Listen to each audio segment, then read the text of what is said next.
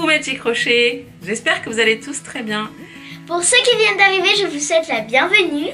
et je vous invite à cliquer sur le bouton s'abonner et à activer la petite cloche. Nous allons réaliser aujourd'hui ce petit bonnet avec un petit pompon et une petite décoration.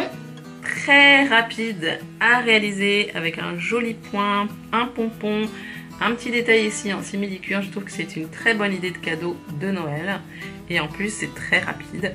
J'en ai fait deux aujourd'hui, le mien et celui de ma fille. C'est exactement le même point, la seule chose qui change c'est la taille des fils et la couleur. Si vous voulez suivre mon tuto, à tout de suite.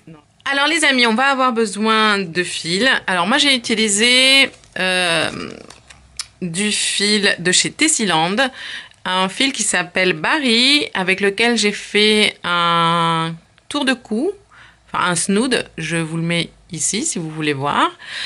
Euh, c'est un fil qui est composé donc de 30% de laine, de 70% d'acrylique et la pelote elle pèse 250 grammes et mesure 375 mètres.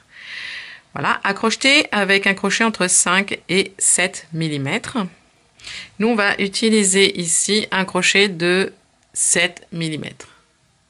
On va avoir besoin d'une aiguille à tricot, d'une paire de ciseaux, d'un marqueur de rang et d'un petit pompon.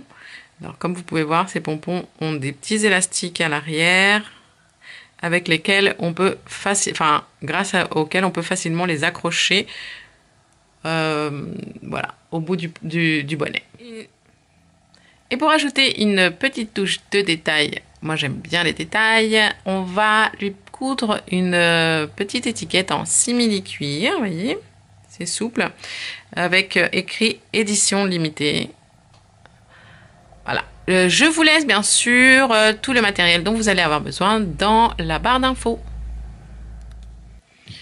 Voilà, celui-ci, c'est le premier que j'ai fait. Le pompon est beaucoup plus gros et le fil est beaucoup plus épais également. Vous voyez, le rendu est très beau.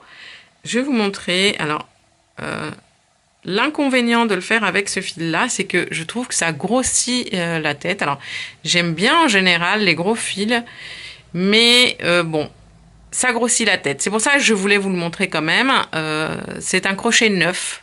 Voilà. Et celui, celui qu'on va utiliser est quand même plus fin, c'est un crochet 7. Mais je vais vous montrer quand même le rendu en blanc. Je vous conseille pas les fils plus, enfin les fils gros comme ça, parce que vraiment ça fait des têtes de champignons.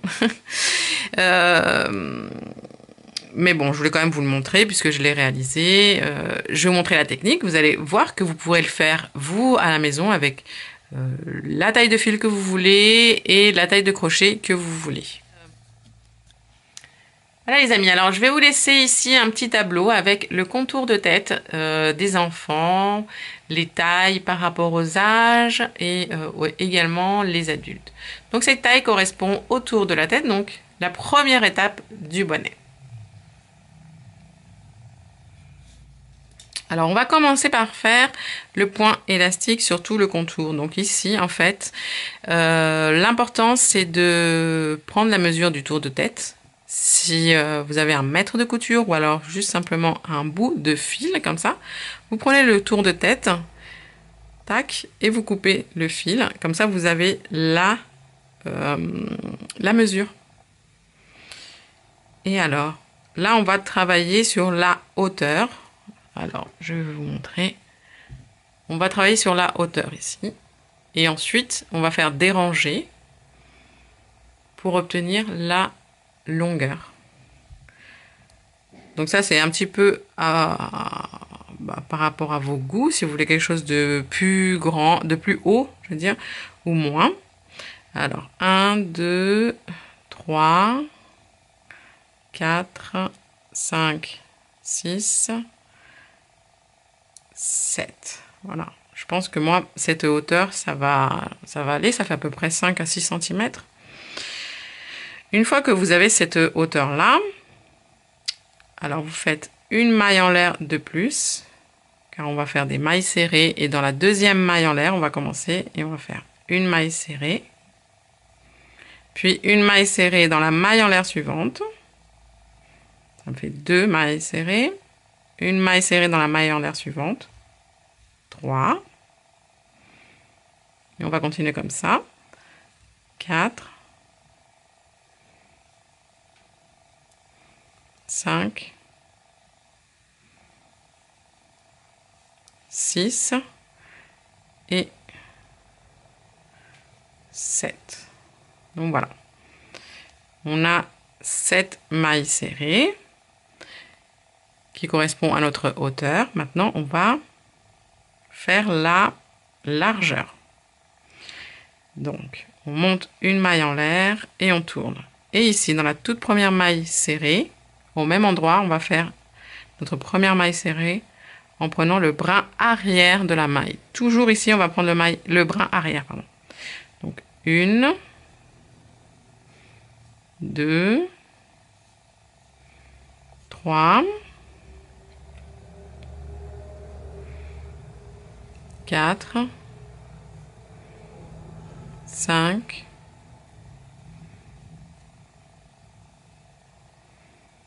oups, 6 et 7. On n'oublie pas la dernière maille serrée. Ok. Et maintenant, on continue. Une maille en l'air et on tourne comme ceci. On fait notre première maille serrée ici dans le brin arrière, toujours. Une. Dans la maille serrée suivante dans le brin arrière, deux. Pareil pour la maille serrée suivante. Trois. 4, 5, 6 et 7. Ok les amis, on va continuer comme ça. Je vous dis jusqu'à maintenant obtenir cette largeur. Vous voyez, enfin la, le tour de tête en fait. Voilà. On va continuer. Tac, tac, tac, tac, tac. Et on se retrouve donc à la fin.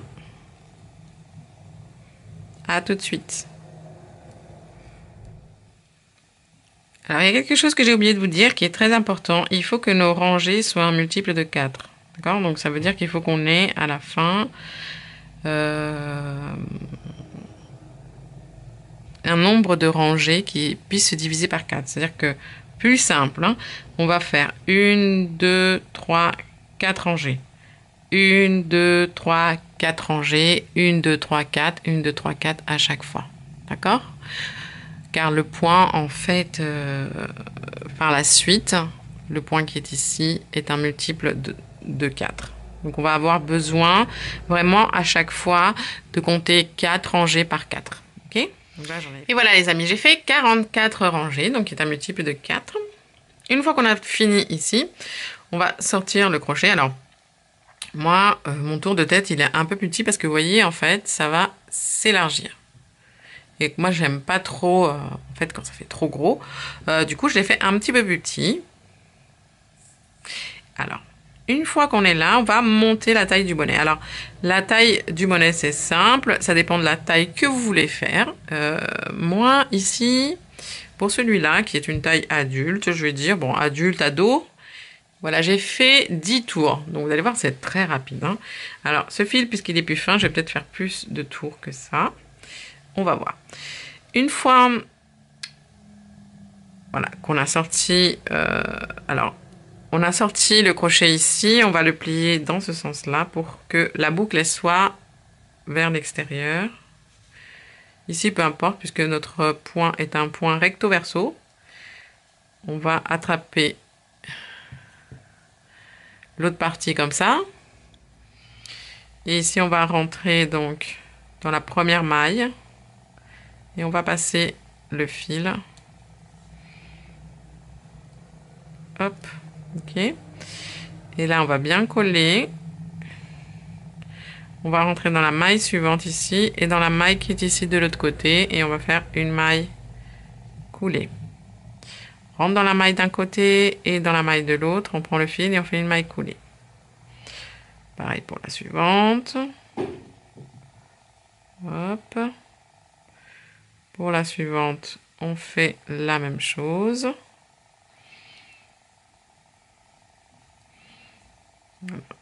La suivante, la même chose. Et la dernière, ici. Hop. Et voilà.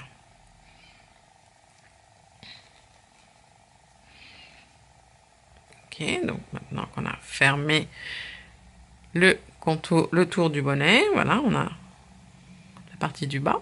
On va monter maintenant le point, va être assez simple, il va être très répétitif en fin de compte. Alors ici, dans cette même, euh,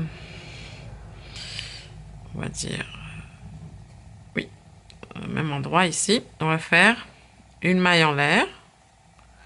Voilà. Puis une maille serrée. Une deuxième maille serrée, donc toujours au même endroit. Deux mailles en l'air. Ok. Et à nouveau, deux mailles serrées. Une et deux. Voyez? Et là, donc au milieu de la maille serrée, enfin, oh, pardon, au milieu des deux mailles en l'air ici, donc ça fait comme une petite chaînette, voyez? Un petit trou, on va placer le marqueur.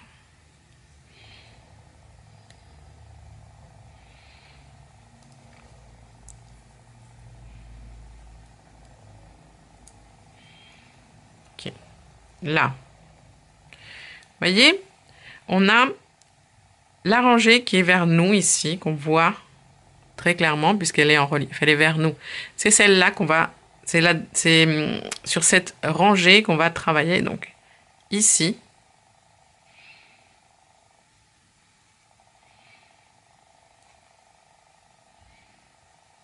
Euh, non, je me suis trompée. C'est là. Voilà, on fait deux mailles serrées, deux mailles en l'air et deux mailles serrées. Donc, une et deux, deux mailles en l'air et à nouveau deux mailles serrées au même endroit. Une et deux. Ok, la suivante c'est là. Deux mailles serrées, une et deux deux mailles en l'air et à nouveau deux mailles serrées. Une et deux. Ok, vous voyez, ça fait comme des petits triangles. Ok, les amis, donc à chaque fois en haut ici.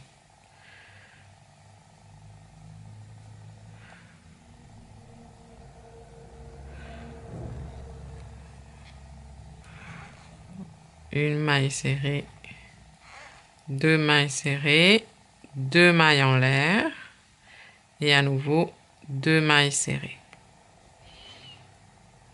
Une et deux.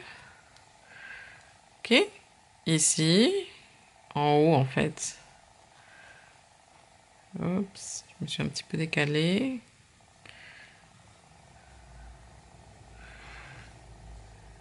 Deux mailles serrées, deux mailles en l'air et à nouveau deux mailles serrées.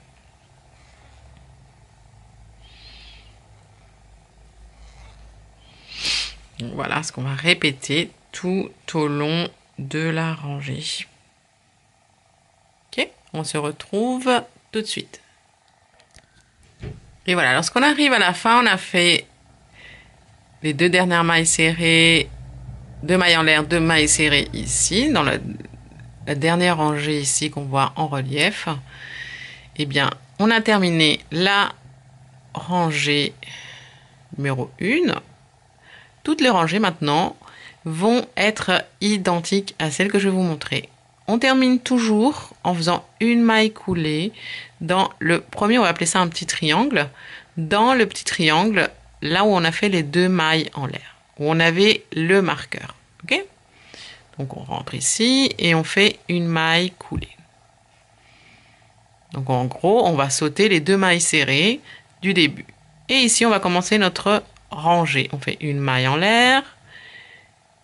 Et à l'intérieur, ici, on fait deux mailles serrées. Donc une et deux, deux mailles en l'air et à nouveau deux mailles serrées au même endroit. Et ici, moi, je vous conseille de replacer le marqueur à l'intérieur ici des deux mailles en l'air. Ça va nous aider à chaque fois retrouver la fin de, du tour. Je vous assure que c'est pas négligeable. Ce petit coup de main de, du marqueur. Et maintenant, on va à chaque fois piquer, voyez, dans les mailles en l'air à chaque fois. Ça fait comme des petits triangles. Et on va faire la même chose. Donc on rentre à l'intérieur ici des deux mailles en l'air. Tac. On fait deux mailles serrées. Une et deux. Deux mailles en l'air. Et à nouveau, deux mailles serrées au même endroit. Une et deux. OK Et on continue de cette manière dans le petit triangle ici, dans les deux mailles en l'air. Une maille serrée et deux. Deux mailles en l'air et à nouveau deux mailles serrées au même endroit. Une et deux. Ok les amis? Dans la suivante, deux mailles serrées. Deux mailles en l'air et à nouveau deux mailles serrées. On va faire ça jusqu'à la fin du tour. Je vous, montre comment on termine le tour. Et à chaque fois, ça va être la même chose à répéter, bien sûr, le nombre de tours que l'on souhaite. Arrivé à la fin du tour, à chaque fois, on repart de la même manière. On retire le marqueur et à la place du marqueur, donc dans les deux mailles en l'air toujours, on fait une maille coulée. Puis une maille en l'air. Et à nouveau, donc deux mailles serrées. Une et deux. Deux mailles en l'air. Et deux mailles serrées au même endroit. Une et deux. Et ici, n'oubliez pas de remettre le marqueur. Et puis on va continuer de cette façon. Je vous dis jusqu'à obtenir maintenant la hauteur que, euh, l'on souhaite. Je vous dirai exactement le nombre de mailles que le nombre de tours que j'ai fait. Je vous dirai exactement le nombre de tours que j'ai fait. Voilà les amis, j'ai fait 12 tours en tout.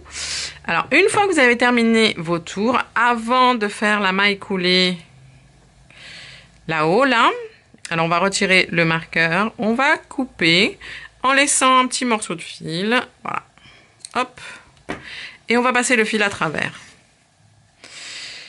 Une fois qu'on a fait ça, on va prendre notre aiguille à tricot. Alors, on prend l'aiguille à tricot et vous voyez, en haut du pic ici, on va prendre que les brins arrière. Donc, dans le premier pic du triangle, on, prend, on passe dans le brin arrière. Voilà. Et on commence à serrer. Ici, au creux, en fait, du triangle, dans le brin arrière, on passe. Pareil pour le haut suivant. Le creux suivant. En fait, on saute. Hein. Une, deux, trois, dans la troisième, on prend. Une, deux, trois. Dans la troisième, on passe. Et on, on tire euh, au fur et à mesure, comme ça va euh, rétracter le, le, bonnet. Dans la troisième maille, une, deux, trois. Toujours dans le bras arrière. Une, deux, trois. Une, deux, trois.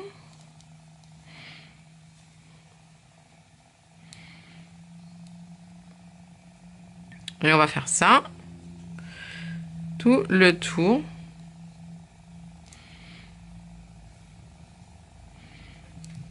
Vous voyez commence à prendre forme. Surtout, on ne coupe pas le fil une fois qu'on a fait cette étape-là. Puisqu'on va venir coudre directement le pompon. Ok les amis, voyez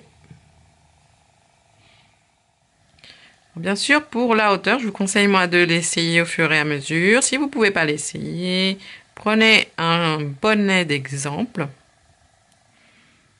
Et euh, vous pouvez également le faire plus haut et faire comme une sorte de bonnet un peu baba cool. Vous voyez, qui, fasse un peu, euh, un peu grand à l'arrière. Mais bon, celui-ci, il s'ajuste à la tête. J'ai décidé de le faire comme ça, mais après, chacun fait comme il veut, bien entendu. Voilà les amis, on continue vraiment jusqu'au bout. Une fois qu'on a bien tout serré, on va venir passer à travers pour bien resserrer. Donc vous allez en fait passer d'un côté et de l'autre. Voyez, pour bien resserrer le tout. Voilà, tirez un peu. Faites attention à ne pas casser le fil. Voilà. Je vais repasser par là et je vais resserrer de l'autre ici. Juste avant de placer le pompon, on va resserrer un petit peu. Voilà, et venir se placer vraiment au milieu. Voilà, voyez, vraiment au milieu. Et puis prendre le pompon et passer dans le petit élastique qu'il y a à l'arrière. On va venir le positionner et venir passer plusieurs fois avec le fil. Pour bien en fait le fixer. Faites attention toujours au fil, il est un petit peu fragile ce fil, enfin pas fragile mais euh, oui un petit peu fragile, donc si on tire trop il, va il risque de se casser. Voilà. Là je repasse à l'intérieur hop, de l'élastique une deuxième fois, simplement pour bien fixer le pompon au bonnet. Rien de très compliqué. Et puis voilà, une fois qu'on a bien, enfin on est passé, je suis passé deux fois, vous faites un, en fait un nœud à l'intérieur du, bonnet pour fixer le, fil, un nœud de couture, c'est-à-dire vous passez à l'intérieur de la boucle ici, hop, et vous fermez bien. Vous allez faire, euh, vous allez traverser le fil avec l'aiguille pour venir perdre simplement le fil à l'intérieur des mailles qui sont ici vers le haut du bonnet. Voilà, moi j'ai passé une fois, ça suffira. Parce que vu que c'est bien serré là-haut. Et voilà, on va terminer, enfin, on va pas terminer, mais on va simplement cacher les petits fils qui, euh, qui traînent un peu. Voilà, ici. Avec une aiguille à tricot. Et ensuite, je vous montre comment on va coudre la petite étiquette. Alors voilà, ici c'est l'arrière en fait du, du bonnet puisque c'est là en fait où on a fait la jointure tout à l'heure. Ça se voit pas. Moi je sais qu'elle est là, donc je vais mettre ça à l'arrière. Comme ça je vais placer en fait mon, étiquette à l'avant. Alors à l'avant gauche ou à l'avant droite, ça c'est euh, à vous de choisir. Hein. Mais c'est bien qu'elle soit un peu sur le côté. C'est plus sympa avec du fil de couture et du fil de couture également. Euh, vous allez coudre l'étiquette en simili-cuir. je suis en train de faire des doubles nœuds avec mon fil. voilà, vous prenez votre petite étiquette et puis vous voyez des petits trous sur les côtés. Vous allez simplement prendre votre fil et l'aiguille et passer. C'est vraiment très très simple. Voilà les filles et les garçons.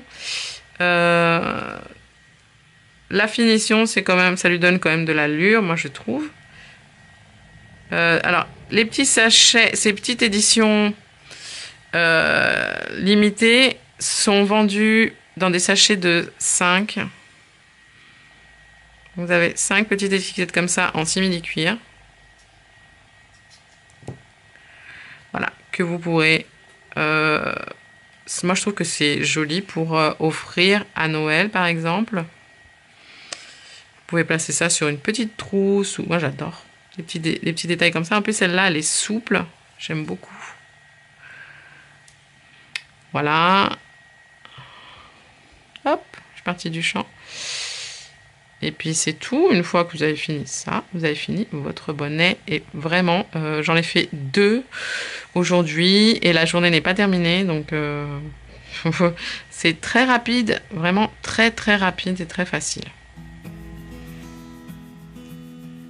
Et voilà les amis, cette vidéo est maintenant terminée. J'espère que vous avez passé un bon moment. Si vous avez aimé, likez, commentez et partagez. Ding, ding, ding, ding. Et moi je vous dis à très très bientôt. Prenez soin de vous. Aimez-vous. Et moi je vous dis à très très bientôt. Ciao ciao Ciao ciao